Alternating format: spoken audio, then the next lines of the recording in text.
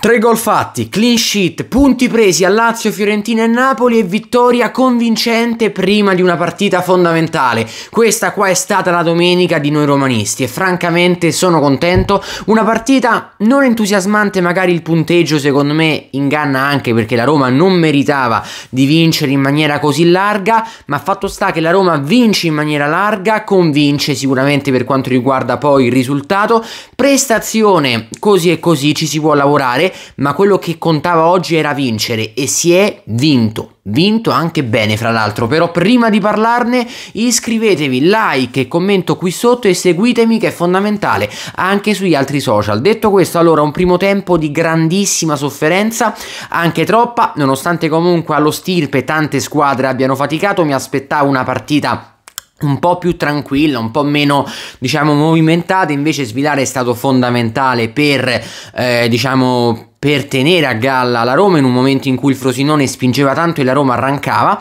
Poi però c'è il gol che svolta la partita di Hausen e che gol, e che gol, ora ci arriviamo. E poi comunque di lì è in discesa, nel secondo tempo una sofferenza molto più diciamo tenuta sotto controllo e poi la Roma fa il 2, fa il 3 e manda tutti quanti a casa. Oggi era fondamentale comunque vincere per non perdere terreno rispetto alla Champions che corre, Atalanta e Bologna in testa, ma anche per allungare su quelle che ti stanno dietro. Napoli, Fiorentina e Lazio, mm, tutte e tre hanno perso punti in maniera diversa, con partite diverse, ma tutte e tre hanno perso punti per strada questo weekend e quindi era fondamentale comunque allungare su loro e appunto per non perdere di vista l'obiettivo quarto posto, anche se quest'anno poi va tenuto in considerazione anche il quinto posto, perché il quinto posto non è il sesto quest'anno, comunque potrebbe non esserlo, visto che anche la quinta di due campionati europei andrà in Champions, cioè comunque visto che la quinta italiana potrebbe andare in Champions se dovesse rientrare nella top 2 delle comunque se l'Italia dovesse rientrare nella top 2 del ranking UEFA è fondamentale anche arrivare quinti, se si dovesse floppare l'obiettivo quarto posto, ecco, la morale è non adagiamoci ad arrivare in Europa League tranquilli anche magari come sesti, perché quest'anno il quinto posto potrebbe significare qualcosa di più, quindi è importante anche puntare il quinto posto, ecco, quello che ha fatto per esempio l'anno scorso la Roma a fine campionato, abbandonando il campionato, puntando tutto sulla Coppa, quest'anno sarebbe molto più costoso in termini proprio di opportunità per via del quinto posto che potrebbe appunto valere la Champions League. Uh, Hausen comunque oggi secondo me è un po' il simbolo di questa partita, Hausen croce e delizia secondo me perché gioca una brutta partita, al di là del gol sbaglia tanto in fase di impostazione, non so se onestamente ha sofferto molto il fattore ambientale perché l'hanno massacrato, fischi, cioè comunque non è stato un ospite gradito, capisco anche ovviamente i tifosi di casa che uh, avendo visto una sorta di tradimento di, della fiducia di Hausen che comunque aveva quasi dato la sua parola al Frosinone salvo poi rimangiarsela per andare alla Roma capisco questa, diciamo, questo atteggiamento un po' uh, duro con lui, però fa un grande gol, vi ripeto, ha sofferto secondo me molto questa, questo ambiente particolarmente ostile nei suoi confronti, infatti ha sbagliato molto in fase difensiva, ma con il pallone fra i piedi ha fatto un gol eccezionale, veramente eccezionale, è partito, si è fatto 30 metri di corsa e l'ha messa sotto al 7 con tanto di due dribbling qua e là, giusto per non farsi mancare niente. Azmoun fa un gol che lo premia secondo me, fa un gol importante perché di fatto chiude la partita e quindi archivia la pratica. Azmoun io lo ritengo un professionista serio, non mi faceva impazzire come giocatore, ho imparato ad apprezzare qualcosa di lui durante la sua esperienza romana, però devo dire che comunque oggi da trequartista ha provato a fare il suo e quel gol sono contento perché lo premia, a differenza invece di un Lukaku veramente svogliato. Io Lukaku ha fatto benissimo per me a levarlo a fine primo tempo e non credo sia stata soltanto una scelta di turnover in vista del Feyenoord, quanto anche una scelta tecnica, perché veramente con Lukaku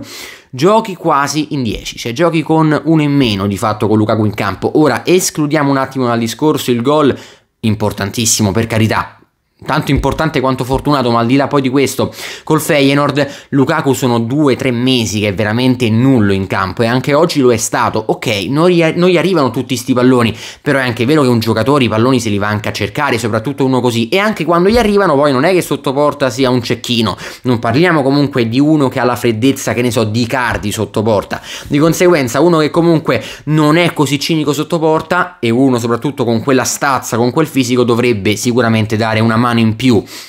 anche in fase proprio di, di gioco di squadra. Uh, Svilar molto bene, Svilar molto bene, nel primo tempo comunque fa tante parate molto importanti, rischia qualcosina nel secondo con quel passaggio un po' così, però comunque ha giocato bene. Ora spero regga, spero regga perché comunque la responsabilità adesso è sua. Penso che De Rossi abbia fatto una scelta abbastanza decisa. Svilar non è più solo il portiere di Coppa, ma è il portiere della Roma, il portiere è titolare, quindi giocherà secondo me da qua in poi fino a fine campionato, salvo sorprese, anche se io non sono mai a favore di nessuna alternanza, quindi mi auguro a questo punto che Svilar giocherà da qua a fine anno, perché fare un po' un po', salvo l'alternanza nelle coppe che posso anche capirla, ma che ne so, come Musso Carnesecchi inizio campionato, nell'Atalanta che facevano un po' un po' in campionato, no, no, quindi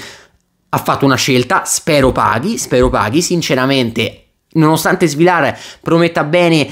è un rischio, è un rischio comunque buttarlo così nella mischia in partite anche molto importanti perché Svilara, a parte Milano, non ha fatto queste gare così, così importanti. Mourinho l'ha fatto giocare l'anno scorso in partite abbastanza, diciamo, tranquille a fine campionato quando la Roma giocava soltanto per l'Europa League. Quest'anno ha giocato soltanto nelle coppe, tolta appunto la partita di San Siro. Però, oh, Speriamo bene, speriamo che comunque se la, se la, cavi. Oggi ha fatto, vi ripeto, un ottimo esame, secondo me l'ha superato a pieni voti, ci ha salvato per me migliore in campo, Svilara a mani bassissime, ha fatto una partita, ha fatto una parata bellissima nel primo tempo, ma ha fatto anche più di un intervento, qualche bella uscita, comunque ha dato sicurezza, ecco, ha dato sicurezza, piano a pomparlo perché è sicuramente uno che deve ancora crescere tanto, però ecco, ha fatto comunque quest'anno nelle coppe, in quelle apparizioni che ha fatto e oggi ha sicuramente dato una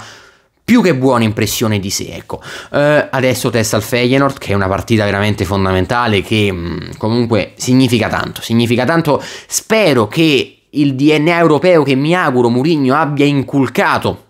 nella Roma spero rimanga, spero rimanga e quindi spero che si veda quel DNA che ci ha portato a due ottimi cammini in Europa con Mourinho, spero rimanga anche con De Rossi e spero che si possa arrivare fino in fondo anche in questa Europa League. È difficile, è innegabilmente difficile, c'è il Liverpool che è la grande favorita, che soprattutto all'ultimo anno di Klopp per me farà il, il, mini double, per chiamarla così, comunque vincerà la Premier ed è una squadra eh, con ottime possibilità anche di trionfare in Europa League, però però la Roma sta là, la Roma sta là così come c'è l'Atalanta, è una squadra che comunque può farcela, io non vedo una Roma così impossibilitata come qualcuno la dipinge a vincere quella coppa. Difficile, sicuramente difficile, però intanto la Roma in campionato sta facendo bene, è andata in Olanda e non ha perso, oh, con De Rossi quattro partite,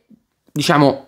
abbordabili, tra mille virgolette, quattro vittorie. La partita con l'Inter persa, peccato, però comunque giochi pur sempre contro la prima in classifica e in Olanda un risultato più che positivo.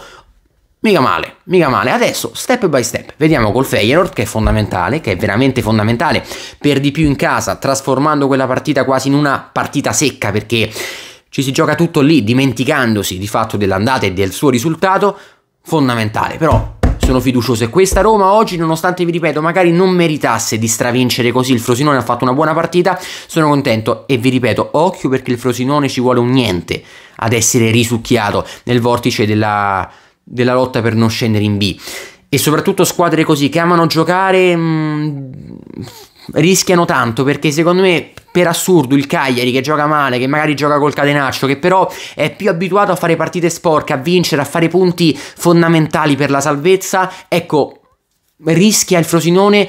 mancando quella fiducia di non riuscire più a esprimersi e quindi di essere veramente risucchiato in quel vortice. Attento Difra, attento veramente. Comunque, prima di parlarne, iscrivetevi là, prima di parlarne, prima di lasciarci, iscrivetevi, like e commento qui sotto e seguitemi anche su TikTok ed Instagram. Ciao ragazzi e sempre forza Roma!